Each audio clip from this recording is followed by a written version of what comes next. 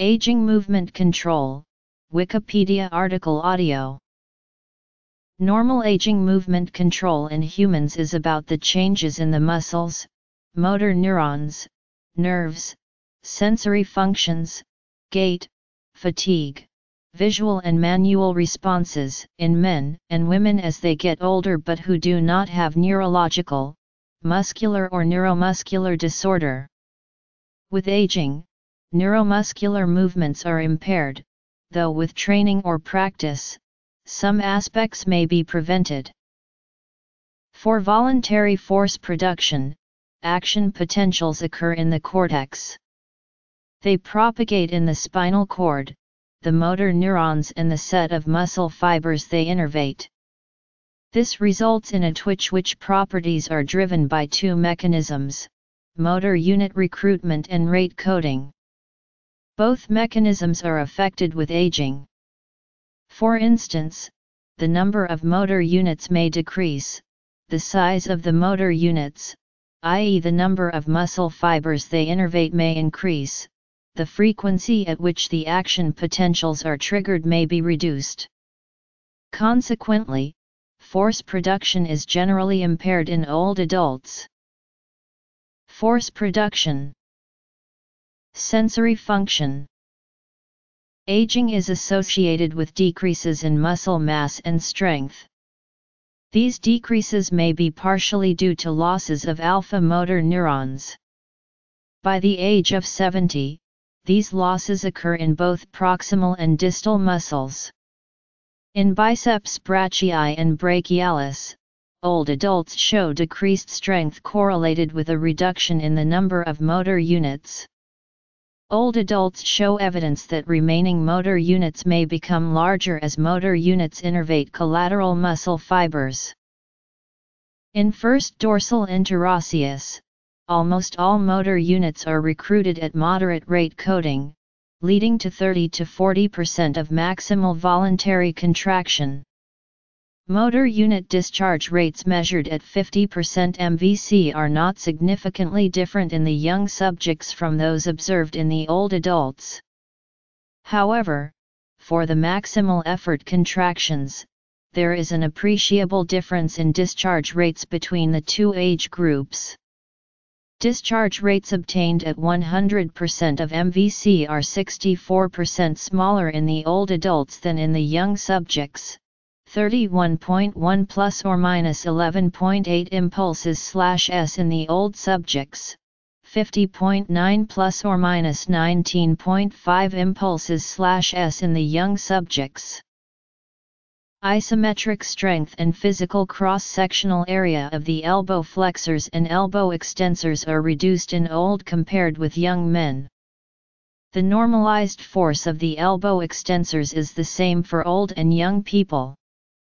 The normalized force for the elbow flexors is reduced in the old men compared to the young men. The lower normalized force of the elbow flexors may be due to an increase in agonist, antagonist muscles coactivation. Compared to the young group, the old group has lower dorsiflexors isometric torque at all angles, has lower knee extensors isometric torque at angles 90 degree. The impairment in force production is muscle specific. During dynamic exercise, the old group requires more time to reach a target velocity and is less able to attain high velocities. The slowing of voluntary contractile speed with age seems to play a role in the loss of dynamic torque the detection of a stimulus by a receptor in the afferent nerve terminals is useful to protect the body against unexpected disturbances. Studies in post-mortem subjects support that the thickness of muscle spindle capsules increases with age. There is a slight decrease in the number of intrafusal fibers in the oldest subjects. Some spindles show changes consistent with denervation associated with grouped denervation atrophy. Age-related changes are observed in fine structure of spindle nerve innervation in the form of axonal swelling and expanded slash abnormal end plates. Walking gait When subject to a task of proprioception, the elderly show increased co-contraction of agonist-antagonist muscles, perhaps to increase gamma drive and spindle sensitivity. It is believed to be used for postural control. Despite a co-contraction strategy, old adults have higher reaction time and also make greater errors in estimating the position of their ankle. The elderly subjects with greater errors for the dynamic position sense also perform poorly on the single limb stance eyes closed test. Old adults sway more than young adults while maintaining upright standing posture, especially with eyes closed with a narrow base of support. Young adults show resourcefulness by shifting from one sensory input to another whereas old adults do not rely on the variety of sensory inputs but rather respond by stiffening their ankles across tasks. Fatigue resistance Sensory receptors can initiate rapid responses to perturbations thanks to short latency connections between afferent innervations and motor units. Yet, aging results in decreases in motor conduction velocities. This may be due to losses of the fastest conducting motor units. There is also evidence of slowing of both fast and slow conducting axons which can be explained by decreases in axon diameter through demyelination, by reduction of internodal length. Some studies suggest an overall decrease in the number of myelinated fibers. Aging results in slowed reaction time in an aiming task for both eye and hand movements. Comparisons between young and old adults who have to follow a target only with their eyes or with a laser in their hand, show that parameters indicative of motor function such as velocity, duration, and amplitude of initial movement are unchanged. However the duration of corrective movement is longer for old adults. It suggests an impairment to sensory system. When confronted to an unexpected slip or trip during walking, compared to young adults, old adults have a less effective balance strategy, smaller and slower postural muscle responses, altered temporal and spatial organization of the postural response, agonist-antagonist muscles co-activation and greater upper trunk instability. Comparing control and slip conditions, after the perturbation, young adults have a longer stride length, a longer stride duration, and the same walk velocity whereas old adults have a shorter stride length, the same stride duration, and a lower walk velocity. Speed, dexterity.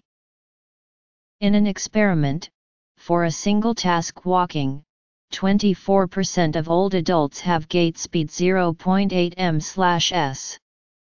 In practical terms, this means that a large proportion of healthy community-dwelling old adults may not walk fast enough to safely cross the street while simultaneously having a conversation.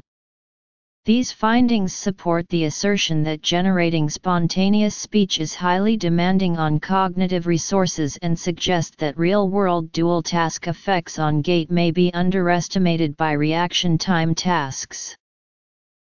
Training consequences Compared to young adults, old adults exhibit muscle fatigue resistance during sustained isometric maximal voluntary contraction, but they show greater supraspinal fatigue at start of sustained task, and during recovery. The first observation reflects changes in fiber type ratio, with aging the proportion of type I muscle fibers which are adapted to long effort becomes greater. The second observation is likely a result of cumulative effects of exercise on the central nervous system. For the knee extensors, old adults produce less torque during dynamic or isometric maximal voluntary contractions than young adults. The mechanisms controlling fatigue in the elderly during isometric contractions are not the same as those that influence fatigue during dynamic contractions, while young adults keep the same strategy. The knee extensors of healthy old adults fatigue less during isometric contractions than do those of young adults who had similar levels of habitual physical activity. In contrast, there are no differences between age groups in the fatigue during dynamic contractions. For old adults, the decreased saccadic accuracy, prolonged latency, and reduced saccadic velocity may be explained by cerebral cortical degeneration with age. Old adults show reduced amplitude of primary saccades and they generally more saccades to reach fixation. Old adults show significant delay of saccades in all conditions. Age-related slowing is only evident for predictable targets, however other studies have shown otherwise but noted higher variance in speed of old adults. Instructed to look either toward or away from an eccentric target under different conditions of fixation, for young children a long time elapses between the apparition of the target and the onset of the eye movement. Young adults typically have the fastest SRTs. Elderly subjects have slower SRTs and longer duration saccades than any other age groups. Old adults exhibit reductions in manual dexterity which is observed through changes in fingertip force when gripping and slash or lifting. Compared to young adults, old adults show an increase in grip force and safety margins. These increases can be explained by skin slipperiness or it may be the result of declining cutaneous information. Force increases are not associated with impaired capacity to modulate fingertip forces smoothly. There is no evidence that old adults were less able to program fingertips based on the memory of a preceding lift. The prismatic grasp which is common in everyday activities, involves the organization of the digits into specific tasks and the balance of force-slash-moment production by individual digits. Old adults exhibit an impairment in finger and hand force production. They show excessive grip force which could be related to higher moments produced by antagonist fingers. Both can be viewed as energetically suboptimal but more stable performance. Old adults often show heightened antagonist muscle coactivation during goal-directed movement. Contractions at moderate to high force often show activation of other ipsilateral and contralateral muscles.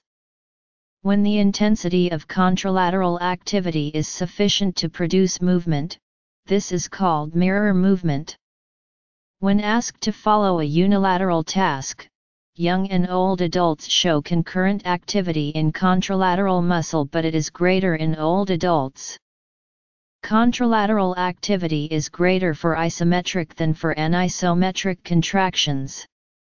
Contralateral force is greater for eccentric than concentric contractions. Type I muscle fiber characteristics of the vastus lateralis are unaffected by age. The old men normal fit or trained have smaller type II muscle fiber areas and fewer capillaries surrounding these fibers than do the young men.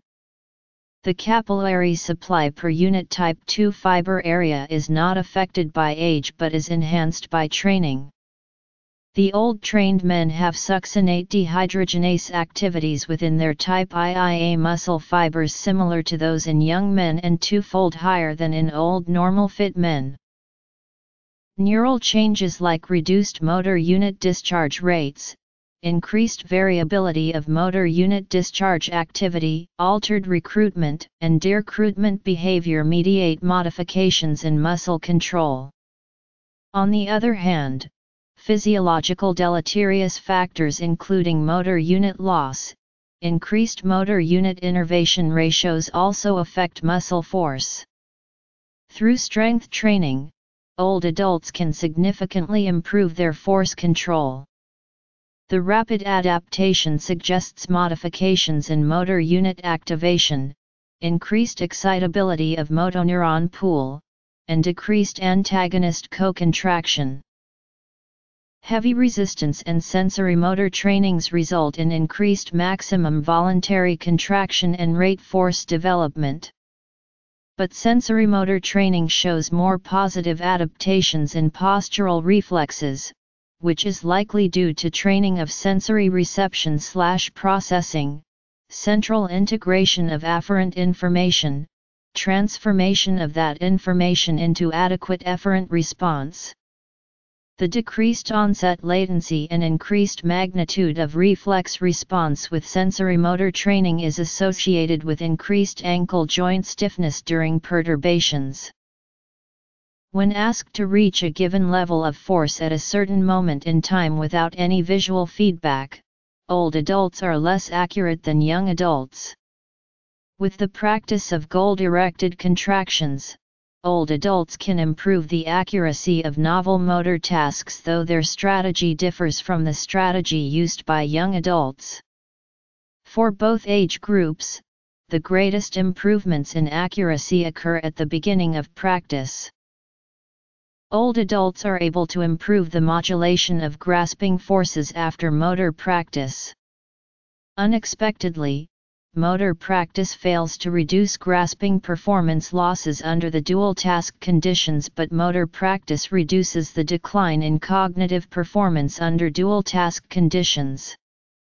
Therefore, motor practice seems to free up cognitive resources that were previously monitoring motor performance and old adults seem to use these resources to improve their cognitive performance under dual task conditions.